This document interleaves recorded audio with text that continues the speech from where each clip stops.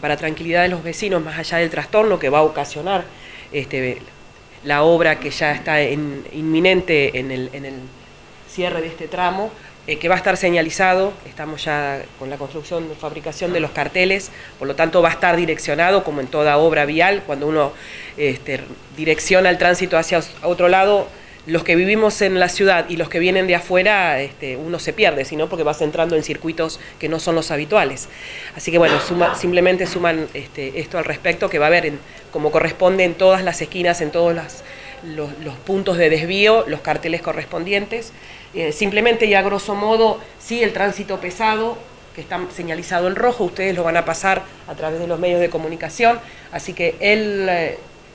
Recorrido en rojo que tiene que ver con el tránsito pesado, tanto de Las Heras como de Merlo, acceso Zavala y 1003, que está consolidado el camino, retomando por Danilo o en Valentín Gómez, ya el límite con Merlo, tanto de Las Heras hacia Merlo o de Merlo hacia Las Heras, y el tránsito liviano, eh, las, eh, digamos, entrando hacia Rivadavia, esta Rivadavia, como ustedes sabrán que es mano y contramano, también se va a determinar que va a ser solamente mano hacia Merlo.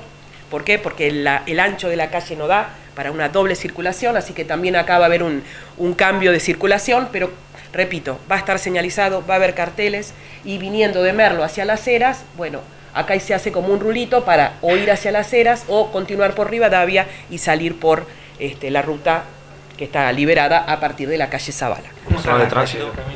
Está, eh, están consolidados y algunos se van a consolidar y va a estar el equipo de obras de vialidad constantemente porque bueno, la circulación va a ser mucho mayor, así que el mantenimiento va a ser también necesario. ¿Personal de tránsito al principio? Al principio también, como siempre, el equipo de, de tránsito de la Secretaría de Seguridad va a estar a disposición.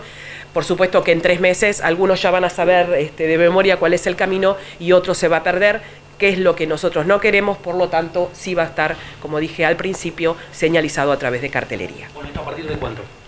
Ni bien este, corten en 20 días. Los carteles van vamos a estar colocándolo unos días antes para no ocasionar este, dificultad de, uy, ya cortaron, uy, pero lo vamos a ir colocando una semana antes seguramente.